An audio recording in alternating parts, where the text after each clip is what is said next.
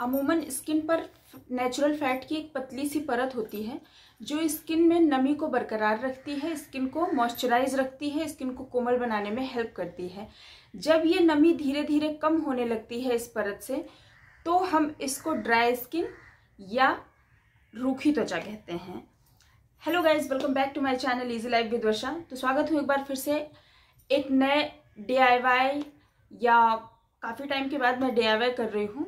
तो एक नए DIY के साथ DIY भी बोल सकती हूँ। आज के इस वीडियो में आज का जो हमारा टॉपिक है कि आप ड्राई स्किन की केयर किस तरीके से कर सकते हैं? अगर आपकी भी रूखी त्वचा है तो आप उसकी केयर किस तरीके से कर सकते हैं? क्या कारण होते हैं जो आपकी स्किन रूखी, सूखी, बेजान हो जाती है? आज किसी भी प्रोडक्ट का के बारे में बात नहीं होगी। आज हम DIY के बारे में बात करेंगे और मैं उसके रीजंस बताऊँगी और इनको आप कैसे ठीक कर सकते हैं। तो चलिए वीडियो शुरू करते हैं। सबसे पहले हम जान लेते हैं कि वो क्या कारण है जिसकी वजह से आपकी स्किन ड्राई हो जाती है, बहुत ज़्यादा रूखी सूखी हो जाती है। तो कई सारे कारण हैं, मैंने नोट डाउन करके रखा है, मैं आपको बताती हूँ। सबसे पहले आप कोई ऐसा प्रोडक्ट यूज़ करते हैं, जो कि आपकी स्किन के लिए ठीक नहीं है तो जब भी कोई प्रोडक्ट आप यूज़ करते हैं, आपको ध्यान रखना है कि अगर आपकी स्किन टाइप आपका कैसा है, उसके अकॉर्डिंग ही आप प्रोडक्ट यूज़ करें। दूसरा, कोई प्रोडक्ट यूज़ करेंगे तो आपकी स्किन ड्राई हो सकती है। मतलब बहुत सारी प्रॉब्लम्स हो सकती हैं आपके स्किन में ऑयली भी हो सकती है। अगर आपकी स्किन पे एक्जिमा या सोराइसिस है तो ड्राई स्किन होना आम बात है। और साथ ही साथ, जिन लोगों की बढ़ती हुई एज जब एज बढ़ने लग जाती है तो जो हमारे स्किन पे फैट नेचुरल फैट की एक लेयर होती है, वो धीरे धीरे अपनी नमी को खोने लगती है। क्योंकि उसमें जो तेल, जो ऑयल बनने की प्रक्रिया होती है, वो बहुत स्लो हो जाती है, इस वजह से स्किन उनकी ड्राई और खिंची खिंची सी रहती है। साथ ही साथ जो लोग एसी एयर कंडीशनर में सोते हैं एसी में सोते हैं, उनको भी बहुत ज़्यादा ज़रूरत होती है अपने स्किन की केयर करने की। अगर वो स्किन को अच्छी तरीके से मॉइस्चराइज नहीं करते हैं, नमी वाली चीज़ें यूज़ नहीं करते हैं तो रात भर आप एसी में सोते हैं, इस वजह से भी आपको ड्राई स्किन की प्रॉब्लम हो सकती है। क्योंकि हम, देखिए आप सर्दियों में सबसे ज़्यादा ड्राई स्किन की प्रॉब्लम होती है और एसी में जब आप सोते हैं तो वो सारी नमी को सोख लेता है। इस वजह से आपको ड्राई ड्राई स्किन की प्रॉब्लम हो जाती है।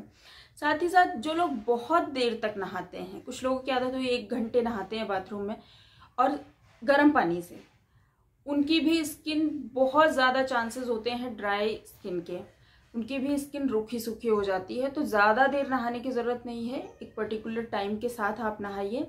साथ ही आपको गर्म पानी से नहीं नहाना है, गुनगुने पानी से नहाना है। अगर आप चाहते हैं कि आपकी स्किन ड्राई ना हो तो और अगर आपकी ऑलरेडी ड्राई है, तब तो बिल्कुल ही बंद कर दीजिए। बहुत देर तक नहाना और गुनगुने पानी से नहाइए, हल्के गुनगुने पानी से। जिन लोगों की ड्राई स्किन है, उन लोगों को स्क्रब बिल्कुल भी नहीं यूज़ करना चाहिए। स्क्रब की वजह से आपकी स्किन और ज़्यादा ड्राई हो सकती है।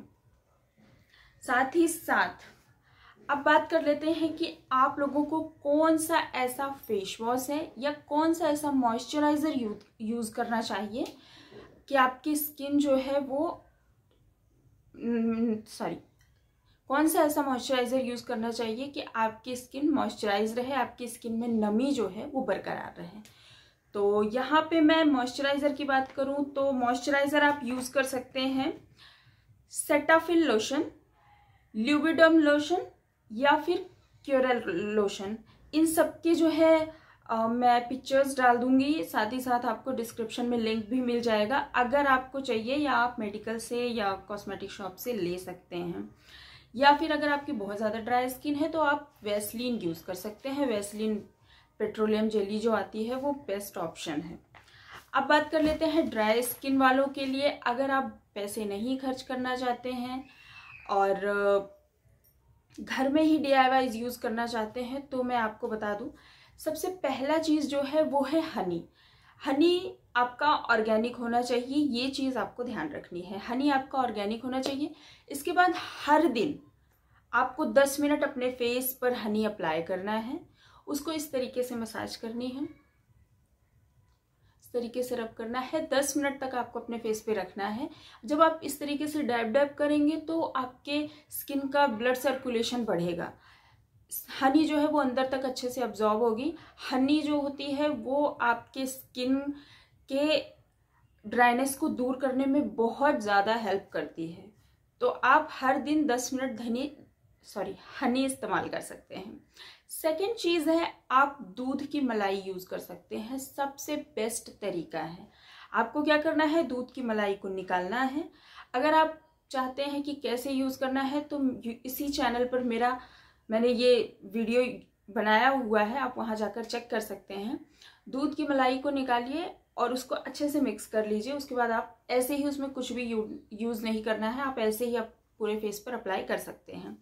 पाँच दस मिनट तक रहने दीजिए मसाज कीजिए उसको छोड़ दीजिए उसके बाद आप फेस वॉश कर सकते हैं। और अगर आप चाहते हैं कि मलाई चेहरे पर नमी तो बरकरार ही रहे साथ ही साथ आपकी स्किन भी ग्लोइंग दिखे ग्लॉसी दिखे खूबसूरत दिखे तो आप उसमें ऐड कर सकते हैं बिल्कुल थोड़ा सा एक पिंच के करीब टर्मरिक यानी कि हल्दी। और अगर आपको ये डर है कि आपका फेस जो है वो येलो दिखने लगेगा तो कोई बात नहीं, आप वाइल्ड टर्मरिक यूज़ कर सकते हैं। उससे आपका जो चेहरा है वो बिल्कुल भी पीला नहीं होगा, क्योंकि उसमें कलर वो बहुत ज़्यादा नहीं छोड़ती है। ऑर्गेनिक हल्दी या वाइल्ड टर्मरिक आप यूज़ कर सकते हैं। तो आपके स्किन में नमी तो बरकरार रहेगी ही ड्राइनेस तो दूर होगी ही, साथ ही साथ आपका चेहरा जो है वो खिला खिला भी होगा, खूबसूरत भी होगा, रंग भी निखरेगा। तीसरी चीज़ है, अगर आपके फेस पे एक्जिमा या फिर सोराइसिस की प्रॉब्लम है तो आप डॉक्टर की हेल्प ले सकते हैं। या मेरे पास एक छोटा सा नुस्खा है, आपको क्या करना है, आपको बादाम तेल लेना है, बादाम रोगन। बादाम तेल लीजिए और उसमें आपको यूज़ करना है जेनरिक एसेंशियल ऑयल, की दो तीन ड्रॉप्स, ज़्यादा नहीं, जेनरिक एसेंशियल ऑयल लीजिए। उसमें जो होती है एंटीबैक्टीरियल प्रॉपर्टीज़ होती हैं तो वो आपके चेहरे के जो भी फंगल इन्फेक्शन वगैरह हुए होंगे, उसको ठीक करने में बहुत हेल्प करता है तो आप उसे भी दोनों को मिक्स करके आप अपने फेस पे मसाज कर सकते हैं। मसाज कीजिए, उसके बाद उसको ऐसे ही पोछ लीजिए, उसको धोना नहीं है। आप रात में यूज़ कर सकते हैं, आपको अपने फेस पे इस तरीके से मसाज करनी है, उसके बाद किसी कॉटन से आप उसको अच्छे से निकाल लीजिए, और फिर आप रिलैक्स हो जाइए। चौथी, सबसे इंपॉर्टेंट और सबसे आसान सा तरीका है जो आप सब यूज़ कर सकते हैं डेली यूज़ कर सकते हैं। आपने क्या करना है? डेली रात को आपको लेना है कोकोनट ऑयल यानी कि नारियल का तेल। उसको आप अपने पूरे फेस पे आप अपने हथेली पर लीजिए। उसको थोड़ा सा एक्टिवेट कीजिए। मिक्स कीजिए और उसके बाद आप अपने फेस पे अच्छे तरीके से मसाज कीजिए कम से कम दो से तीन मिनट तक। जब आप अच्छे तरीके से मसाज करोगे तो वो तेल जो है वो पूरी तरीके से अंदर एब्जॉर्ब हो जाएगा आपके स्किन में और आपकी स्किन को अंदर से नमी प्रदान करेगा। मतलब अंदर से आपकी स्किन ग्लोइंग होगी और ड्राइनेस दूर होगी। साथ ही साथ आपके स्किन के दाग धब्बे भी नारियल तेल से चले जाते हैं। तो ये था ये छोटी छोटे टिप्स थे।